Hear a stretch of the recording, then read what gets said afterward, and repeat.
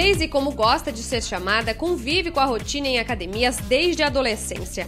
Filha de empresários do ramo, com 11 anos já fazia treinos leves. Mas ao longo do crescimento, Geise enfrentou dois problemas sérios de saúde: a anorexia e depois a compulsão alimentar. Os problemas e a rotina fizeram com que a jovem decidisse a profissão, personal trainer.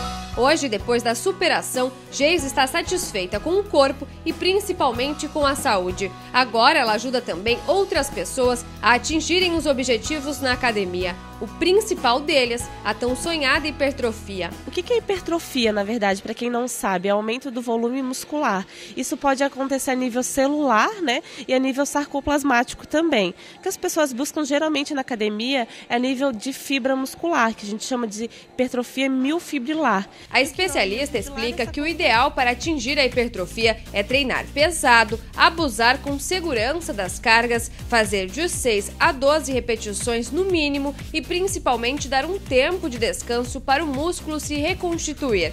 O treino em excesso pode até atrapalhar a conquista do objetivo. Esse tempo de descanso é de 48 a 72 horas. Quando a gente está treinando, na verdade, a gente está decompondo, ou seja, catabolizando, perdendo massa muscular e não ganhando. Aluno fiel da academia, Júlio treina há mais de três anos. Assim como muitos, ele tem o objetivo de alcançar a hipertrofia. Se esforça toda semana, a média de uma hora por dia. Evita o aeróbico porque tem metabolismo acelerado e, consequentemente, facilidade em perder peso. Desde que começou a rotina diária em busca do crescimento do músculo, Júlio saiu dos 64 quilos para os 72, mas tem muitos mais objetivos por vir. Uma meta é chegar ali no peso que eu quero chegar antes do verão, 78 quilos mais ou menos.